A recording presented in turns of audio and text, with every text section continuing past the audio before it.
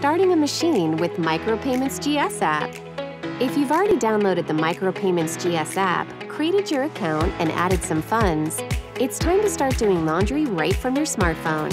Go ahead and open up the app and sign in using your email address and password if you haven't already.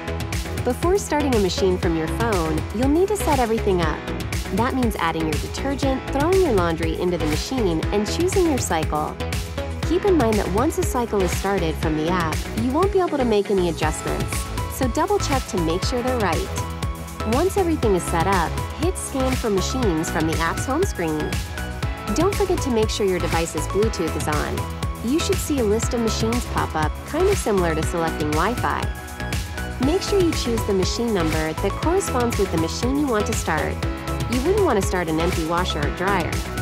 When using stacked units, pay careful attention to the numbers of the upper and lower units. You don't want to get that wrong either. When you found the right machine, select it. You should hear the machine start to beep and see the start button flash. Next, hit the start button and your laundry will start. It's that simple. You'll be able to see a real-time estimate of when your machines will finish from the home screen. This way, you can easily run out for some errands or just relax outside without having to check in on your machines every 10 minutes. If you want to look at past purchases and credits, simply hit the gear button at the top right corner of the app and select Transaction History. We hope this quick tutorial was helpful. Please feel free to contact us anytime at coinmeter.com.